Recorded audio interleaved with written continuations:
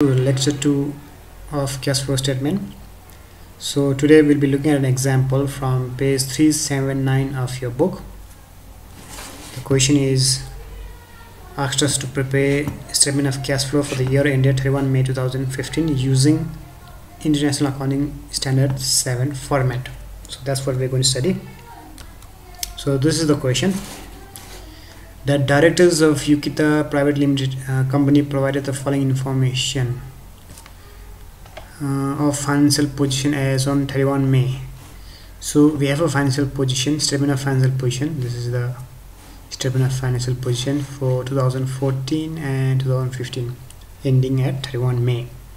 So you have your assets listed out here, the current asset, total assets. Down here you have equity and liabilities. This is the equity there is non-current liabilities current liabilities total liabilities total equity and liabilities. So this is your statement of financial position. And the non-current assets uh, the details are given in note 1 if you look at note 1 here the details of non-current assets are here. You have land and building at cost for both the years. The land and building has been revalued uh, revalued by 3200 there is depreciation to date. Depreciation to date means your accumulated depreciation. So here you need to understand that depreciation has been uh, used under the provision for depreciation method. There's the carrying amount machinery at cost depreciation to date carrying amount vehicle. And then there's additional information. During the year ended 31 May 2015 machinery which at cost uh, 1200 thousand dollars was sold for seven hundred fifty thousand dollars. The depreciation charge on the machinery up to 31 May 2014 was dollar four eighty thousand. No addition to the machinery was made during the year ended 31 May 2015 there was no disposal of lands buildings or vehicle during the year ended 31 May 2015 Note 2 The summary of income statement for the year ended 31 May 2015 was as follows in the bracket uh, changes in changes in equity statement has not been used. So you have uh, profit for the year before tax there is provision for corporate tax dividend paid increase in retained earning for the year. So this is the question given to us. Now based on this question we are supposed to prepare the cash flow statement. So let us see how to make it. So the solution would be something like this. I've already ready made solution so this is the format which we studied in lecture 1 statement of cash flow for the year ended 1 2015 up here is the heading of the company. First we calculate cash flow from operating activities. Then second you calculate cash flow from investing activities. Third you calculate cash flow from financing activities. You add them up. That's your net increase in cash and cash equivalents. This is the sum of a plus b plus c. And then cash and cash equivalent beginning we add it up then you get your result cash and cash equivalent at the end. That's how we do. So i'm going to teach you based on these solutions uh, so that you understand how each of them is done. So in order to calculate cash flow from operation activities first we need to start from profit from operations. So we need to search profit from operations in the question. Now if you look in the question uh, in the question you will notice that and uh, this is your statement of financial position. There is no profit from operation here. Obviously it will be given in the additional question. Let's see.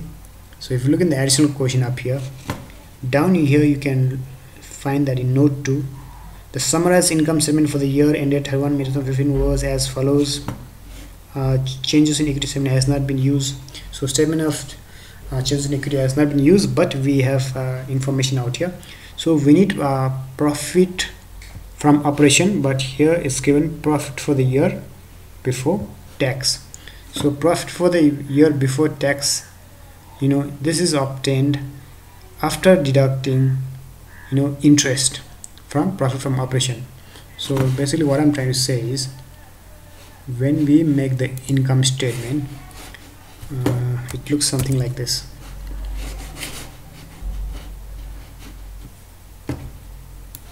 so the income statement uh, while we calculate the income statement what happens is uh, if you remember your format from gross profit if we deduct less expenses. So in gross profit when we deduct the expenses I'm just going to put an assumption here. Suppose the gross profit is 100 and the expenses is let's say 40 then you get a 60 as profit uh, from operation. So from profit from operation uh, we deduct the finance cost. Remember this is the format we studied in our limited company accounts. So we deduct finance cost and finance cost is composed of your preference dividend. One is your preference dividend. There are two things. One is your preference dividend just a reminder. So preference dividend is taken as a, a component of finance cost. There is your preference dividend. And then the second is interest on long-term loans. So interest on loans you can say long-term loans. Interest on long-term loans or you can say normally here interest on debentures because debenture is a long-term loan. So interest on loan or you can say debentures. So here we'll have to subtract finance cost. And let's assume that as suppose 10 as an assumption.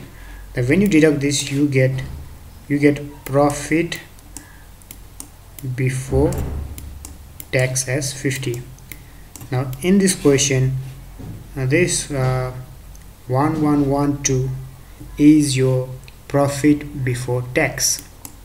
This is your PBT profit before tax so here what you need to do is you need to add back interest to get profit from operation. So we need to add back to get the 60 so it means what you're going to do here is so this 112 uh, is given to us. So we are going to find out what is the interest amount and add it back to get profit from operation. That's what we are basically going to do. So if you look here in the solution I've already done it that's in working number one here see? So profit before tax 1112 it's given to us. This is in thousands. You're going to pick that up there. And then you need to add back interest. Now this interest is uh, you know you need to figure out from the question. So I'm going to show a way to get this interest part. So here if you look up in your non-current liabilities. If you look up here there is 8% debentures 1200 you can see there. So both are same so you don't need to worry about it. So all you need to do is calculate 1200 into 8 percent. This is into out here. You get 96 as the interest. So that's the interest for the year. So if you add these two up you get profit from operation. So that's how we compute it profit from operation. So based on that now if you look at the cash flow statement this 1208 has been computed through this working note so this is how you get this first adjustment if it's not given directly to us. Now after doing that we need to add up adjustment for depreciation. So we need to compute depreciation of all the non-current assets. So you can figure out here depreciation there's land and building 650 machinery 660 uh, vehicle 200 this total is added to 1510 we need to add back depreciation that is your non-cash expenses. So now we're going to show how to compute each one of them. So before I do that I will uh, erase this off.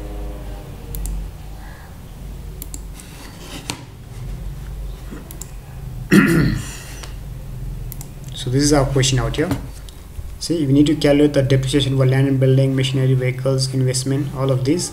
So we need to make a ledger for each of these. Now uh, let us look at uh, the additional question as well. What is saying regarding depreciation? So if you look in the additional question up here it's given note 1 there is the notes given out here. So what we do is we will make each of the ledgers individually. So let us start off with land and building. So this is your working note 2 land and building. This is your ledger land and building. So land and building is your asset. So in the debit side opening balance come to debit side BD that's your brought down.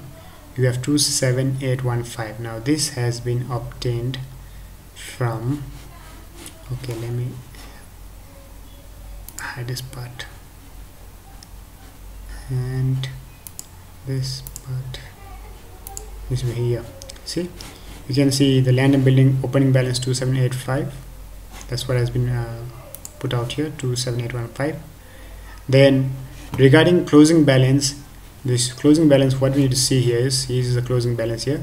The cost plus you need to add up the revaluation revalued amount. So revaluation amount should also be added up because asset has been uh, revalued up by 200 so you add this two you get 34220 as the closing balance.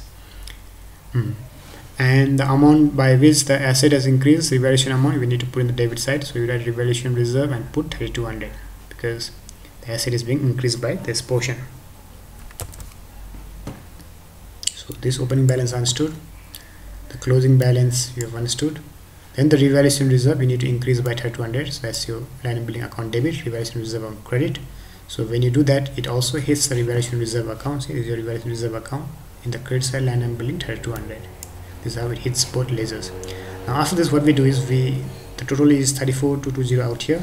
Here 34220 so the difference amount is a missing figure. That's your purchase.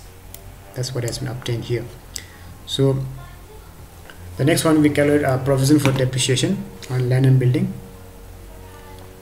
So to calculate provision depreciation on land and building first we start off with opening balance. Now the opening balance is given to us up here. So let me just hide this. There. The uh, depreciation to date is your accumulated depreciation or you can say provision for depreciation. 9600 is the opening balance 10 to 50 is the closing balance. 9600 so if you look here in the work note 2 9600 is opening balance. Remember that provisions opening balance comes in the credit side. And the closing balance comes in your uh, debit side 1 10250 so the missing figure goes in your income statement. That's a depreciation missing figure 650 that's how it works out. So this is how you make the land and building you know land and building at cost the provision depreciation account and the revaluation reserve. Now there is no sale of land and building out here so we don't need to make disposal account. And remember that we are making i mean we are calculating depreciation based on the accumulated uh, depreciation method or you can say provision for depreciation method or you can say disposal uh, account method. So let me now let me show how this will have an impact on the cash flow statement so in the cash flow statement see this there's a purchase. So when purchase happens there's outflow of cash. So this is going to go in our investing activities. We'll have a minus out there. So let me show you in the cash flow. In the section of cash flow from investing activities you have purchase of land and building working note 2 out here. See 3205 is your outflow. So it's in the bracket. So this is where you need to put this. You need to remember that so this is done. And then the depreciation is your non-cash expenses which we need to add back in the uh, profit from operations. So this 650 if you look up here it's here there see land and building 650 so this is the uh, real reason for why we are making the ledgers we need to calculate the missing figures there. So that's understood for working note number two. So back to question so we have done for land and building. Now second we need to do for machinery in the same technique. So machinery I've got in working on number three. This is machinery account there. So as normal machinery's opening balance comes in the debit side. Opening balance you put there. So closing balance will come in the credit side but let's have a look in the question. Do we have both the datas so you look at the machinery account here 6500 you have but you don't have the closing balance. Do we have? So no. So that will be you know computed as your missing figure. So this is going to be your missing figure in a while. It's not given to us. If you look up in the question there is no closing balance. It have opening balance is given but the closing balance is not given. So so machinery cost now in the additional information there's disposal of machine. During the year in ended 31 May 2015 a machinery which had originally cost twelve hundred thousand dollars was sold for seven hundred fifty thousand dollars. So here 1200 this is the cost. So you need to uh, reduce the machinery account at its cost. Remember this is at cost. So machinery account all the data here must be at cost so this is your opening balance at cost this is also at a cost. So when you put this disposal account 1200 down here the missing figure comes to 5300 that's how this has been obtained.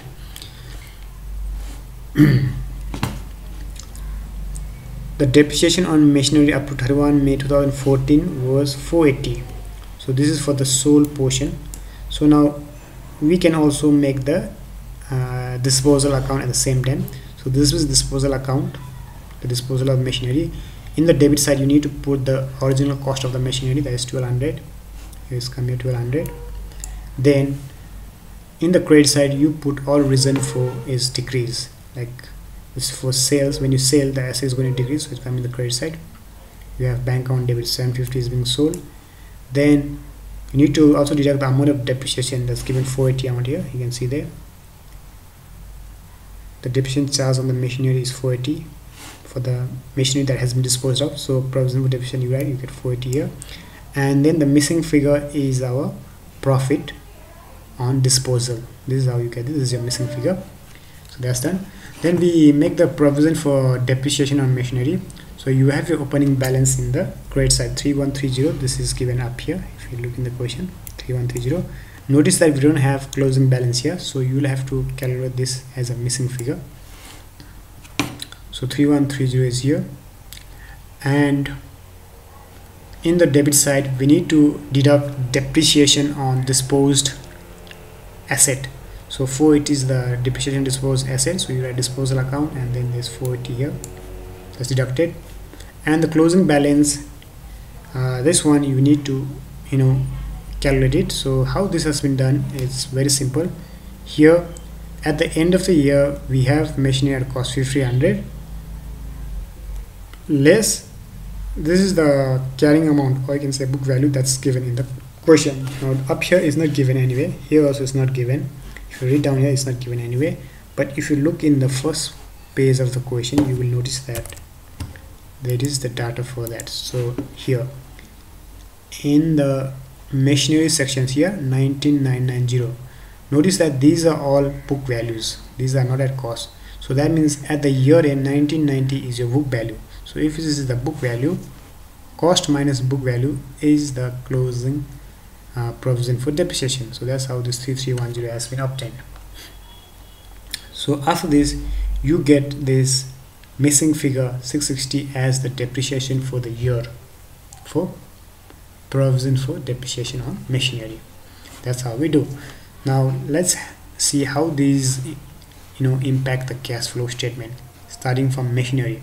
So if you look in the machinery account at cost there is nine uh, here you don't see any bank or cash or depreciation. So this will have no impact. Will have no impact on the cash flow. Now if you go down here in disposal account there is a bank out here. It's sold. So when you sell it there's going to be inflow of cash so there's going to be inflow of cash in your cash flow you can go down to your investing activities. Sale of machinery 750 is here there see? 750 let's come here. Oh no what's that? So 750 was here. Mm, 750 there. And then this your profit. The profit is your non-operating income. So the non-operating income has to be deducted. That's your outflow. So if you look up here profit on disposal of machine working note number 3 30 has been deducted because it is your non-operating income. Because here we need to show only operating income. Hmm. the reason why it's subtracted is because initially uh, while calculating your profit from operation it would be added. So to remove it we are subtracting it. That's the reason. The real thing is there is no out of outflow of cash so it's actually to you know uh, get uh, your cash flow from operation operating activities. That's the reason why we are subtracting it. So that's done. Now you go to here. In the provision for depreciation of machinery there is your depreciation 660 hmm? that's the depreciation for the year. Now this depreciation we need to you know add back because it is non-cash expenses. You can see our machinery is 660 that's how it has been done out here.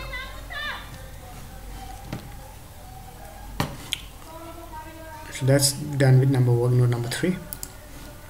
So let us go to work note number four so working note number four. We'll have to see the question again. So working note number four we are going to deal with uh, vehicles. So vehicles we have 1650 as opening balance. Yeah 1650 closing balance we have 1750 so no big deal. And then the difference if you look down here regarding vehicles there was no disposal of land and building of vehicles. So there's no disposal of vehicles means the missing figure obviously is your purchase your bank there's outflow. So outflow means under your investing activities you'll have show minus in your cash flow. You can have a look at it here. Investing activities purchase of vehicle 100 minus here is spin done outflow. So that's how it's going to work out. Yeah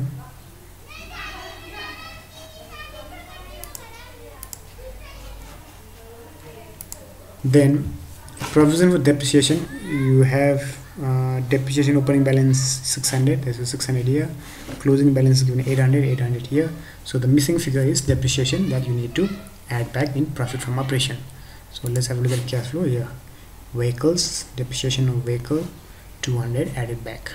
So that's how it has been done for uh, number 4 hmm. So now here what we just learned is we studied uh, we learned how to calculate 650 660 and 200 that's done. So when you add this up you get 1510 as the uh, you know as the total depreciation that is add, added back. So profit and disposal of machinery we have done. This is also done. And then down here purchase of land and building done machinery and done vehicle done so let us look at the question now one more time. So what have we missed?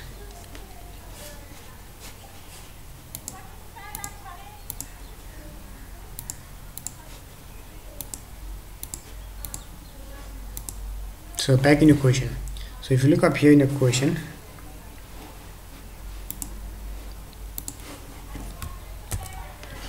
you need to go serially. Land and building we have uh, you know done working note everything uh, land and building done machinery done vehicles done. Now investment. If you look at investment out here uh, investment has increased from 5050 to 6000 so the difference amount by which it has in, uh, increased means we have bought investment. So there will be outflow of cash. So you can simply subtract this and show in outflow. Outflow or you can prepare a ledger as I'm going to show you. Let's go to number 5 number 5 okay. So this is the investment accounts here opening balance 5050 the closing balance 6000 the difference is your purchase bank.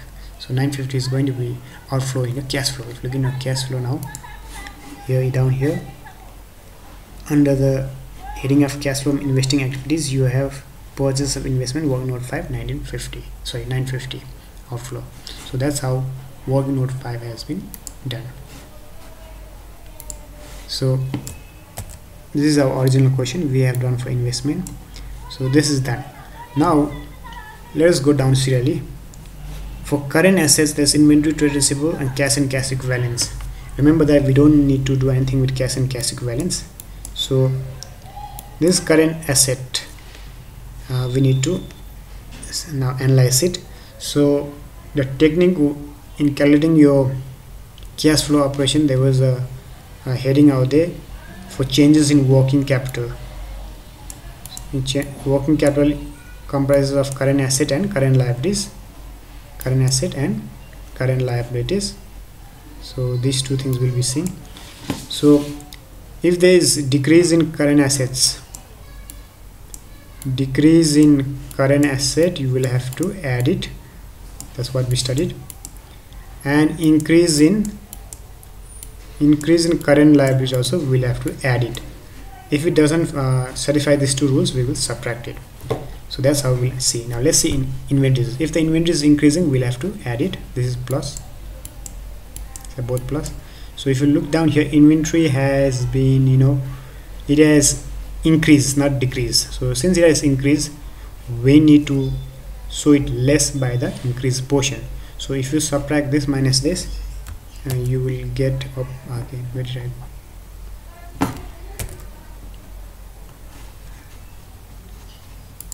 So in the cash flow you will have something like this. Here increase in inventories that is 270 so the amount it has increased by 270 you will have to so it subtract minus. So again back to your question. Now trade receivable has also increased so this also you'll have to do less because it is also your current asset so less by the increase amount if you look in the cash flow here there is your um, increase in trade receivable 300 less see, in this portion now let's have a look at okay inventory and trade was done. So cash and cash equivalent you don't need to do anything about it. So let's go down to current liabilities. Trade payables has increased. Here increase in trade current liabilities you need to add. So since the trade payable has increased we need to add back the increased portion. So increase in trade payables 168 see it's been added back. That's how it has come. You can pause the video and check if you think I'm going too fast.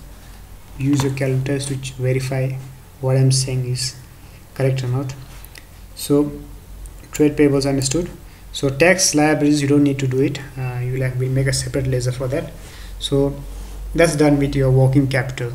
Now after that what we do is now let's have a look at the cash flow back to cash flow. So here what we have done is now we get cash flow from operating activities by simply you know adding this up. The bracket means you need to subtract. So 1208 plus 1510 minus 30 minus 270 minus 300 plus 160 you get 2286 that's your cash flow from operating activities.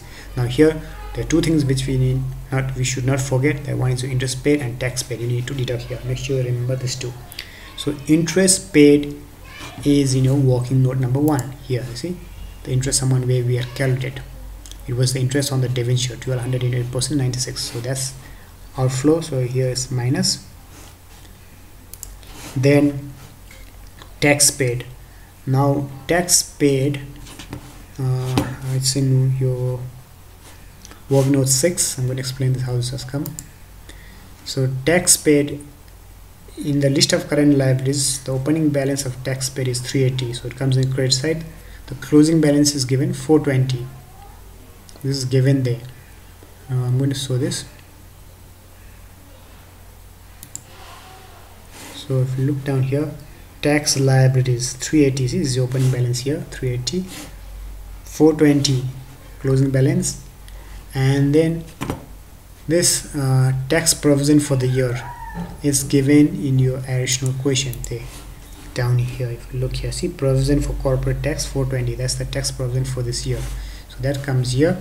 So when you add this up the difference comes to 380 that's your missing figure which is assumed paid so normally what happens in a tax system is we pay the payable of previous year in the current year. So 380 is the payable of previous year which is being paid in current year 380 so without making this ledger you can simply understand that you know like suppose in the question here see you have tax liabilities 380 and 420 you can assume 380 is being paid directly because this is of the previous year. You can also make the ledger if you like this one no number c. So let's have a look at the cash flow. So that's how the tax paid 380 has come here. So now from 2 to 8 6 if you subtract 96 and 380 you get 1810 as net cash flows from operating activities. The bracket in if there's the negative sign it means net cash used from operating activities. Since it's positive it means net cash flows from operating activities. So that's your number a which means we have completed cash flow from operating activities. Now second portion we are going to learn how to calculate cash flow from investing activities. So investing activities uh, we have already calculated this land purchase of land and building. So purchase of land and building was in a work note 2 I explained earlier. So if you see here here's a 3250 when you purchase this outflow. So this goes here then the sale of machinery in work note number 3 sale of machinery if you see here there's 750 sale so that's the inflow 750 here. Then in work note 4 there's purchase of vehicle. Purchase of vehicle yeah see you can see 100 outflow. So that's come here outflow minus. Then in your work note number 5 there's the investment that has been purchased 950 there's the outflow here does come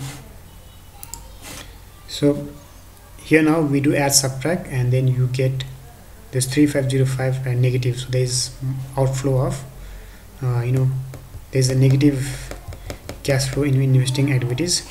So it means net cash used from investing activities. You have 3505 now it's very simple to calculate cash from investing activities. It's all related to your non-current assets. So all you need to see is your concern ledgers whether non-current asset has been bought or purchased. Sorry whether it's been bought or sold. When we sell non-current assets there will be inflow of cash positive like 750 here. When you purchase non-current assets there's going to be outflow so 3205 here this way.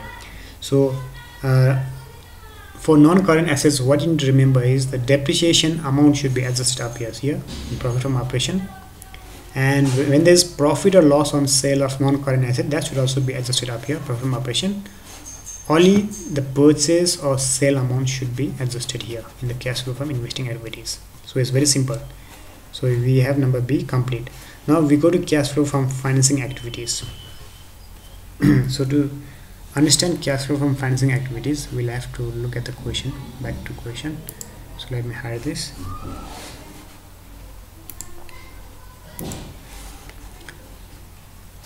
so here we'll have to see in the equity and non-current liability section. So equity here. You can see your ordinary shares. Here ordinary shares has increased from 1 to 100 to 1 to 600 600 so increase in ordinary shares means shares have been issued. So when you issue shares there's going to be inflow of cash. So this has to be added the difference amount you have share premium here share premium has also increased. It means share premium was collected on issue of shares. So that's also inflow you need to add the difference amount the increased amount. Hmm. and then the revaluation reserve out here has increased from nothing out here. Uh, but you don't have to worry about revaluation reserve because revaluation reserve does not result in inflow or outflow of cash. At these two first. Ordinary shares and share premium. As i said difference amount will be shown as inflow. You can pause the video and use your calculator and find the difference amount. And if you look in the cash flow statement here see issue of shares. So 500 has increased by 500 increase in share premium 1500 you put this way this is inflow. You can combine both of these and keep in one line. It doesn't make a uh, difference. That's it. There's an increase in share premium. Okay back to question normally shows your dividend uh, being paid. So let's look at note 2 so it's not given here. Note 2 is an additional question. So here's your note 2 this is your summary of your retained earning how it has been obtained. So profit for the year before tax we have 1120 your corporate tax we have adjusted up here so no worries. So dividend paid 300 this dividend paid has to be you know it has to be shown as outflow in your financing activities. So 300 minus in your cash flow. The dividend paid 300 you need to do this. So retained earning is used to calculate your uh, dividend paid. So with that done now if you look at the question you might be thinking of the debenture as well. So you also need to look at the non-current liabilities. The debentures has neither increased nor decreased. So we don't need to do anything about it had the debentures been increased suppose it is 1200 to 1500 it means increase in issue of debentures. So the 300 portion you'll have to add it if in case it was given in question. So this is this has nothing to do out here. Current liabilities we have done. So that's done with all of this. So back to your cash flow now. So we have net cash from financing activities 1700 positive by solving this part now after this what we do is we write net increase in cash and cash equivalent and then you add a plus b plus c. So a is your cash flow from operating activities b is from your investing and c is your from financing. So if you add them up this 1810 minus 3505 plus 700 you get positive cash flow there's 5 so there's net increase in cash equivalent by dollar 5 it's in thousand five thousand dollars. So in that we need to add cash and cash equivalent at beginning 278 now this is given in your question 278 let's have a look at 278 so here this is the cash and cash equivalent 278 in the beginning of the year. 278 this is your opening cash and cash equivalent this is your closing cash and cash equivalent.